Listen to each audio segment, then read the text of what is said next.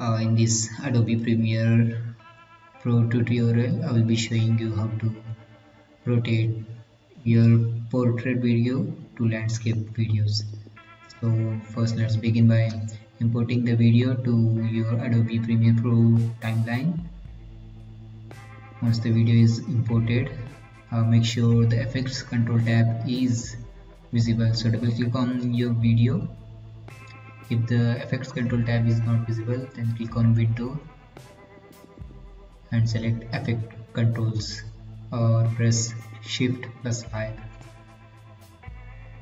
in the effects control tab go to rotations and change the rotation angle to 90 degrees or minus 90 degrees depending on your video. As you can see uh, the video is rotated but we have some black sides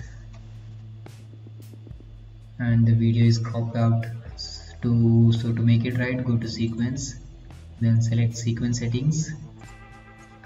Here we need to change the frame size. So first copy the vertical frame size and paste it in the horizontal frame size uh, field and then change the vertical uh, frame size to 720p pixel resolutions.